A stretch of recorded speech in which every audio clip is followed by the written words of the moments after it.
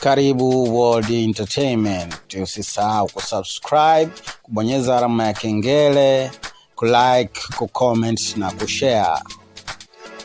Mchambuzi kutoka Clouds, huyu ni Shafii Dauda, ameposti hizi picha za wachambuzi baadhi yao, mmojawapo ni Edo Kumwembe kama unavyomwona hapo kwenye picha.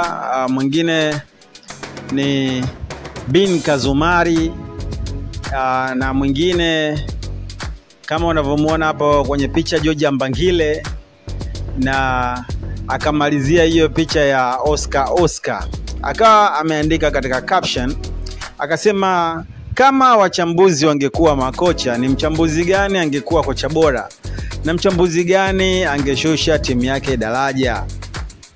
Sasa watu wengi wamekuja kucomment katika posti hiyo, na mojawapo huyu akawa ameposti jemedari angeshusha timu hadi mtoni, sio darajani tu wengi wakaja, mmoja hapo jemedari mwenyewe alikuja aka comment kwa kucheka. Uh, mwingine akaandika kwamba unataka kutugombanisha na Oscar Oscar. Mwingine akaja akasema Oscar Oscar, pozi hilo hapana.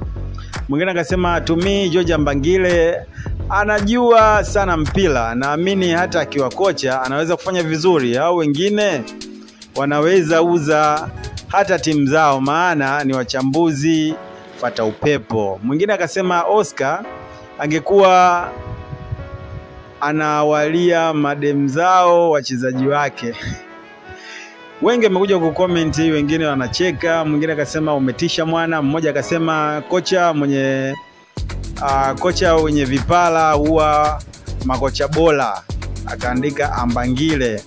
Mwingine akasema wachambuzi wengi nao si kama zamani, wengi wana mahaba na timu, wengine wengi ubora wao umeshuka, walikuwepo ila sasa ukiwasikiliza muda mwingi inabidi ubadili channel.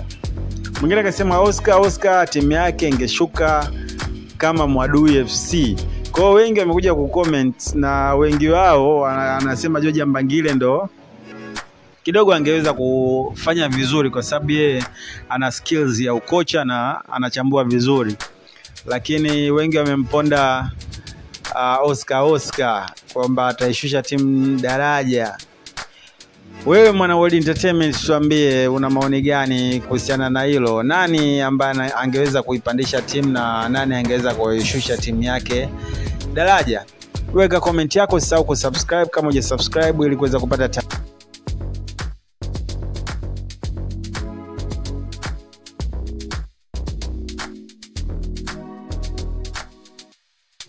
Asante kwa kutufuatilia. Tafadhali usisahau kusubscribe, kulike, kushare na comment kwenye video zetu nyingine.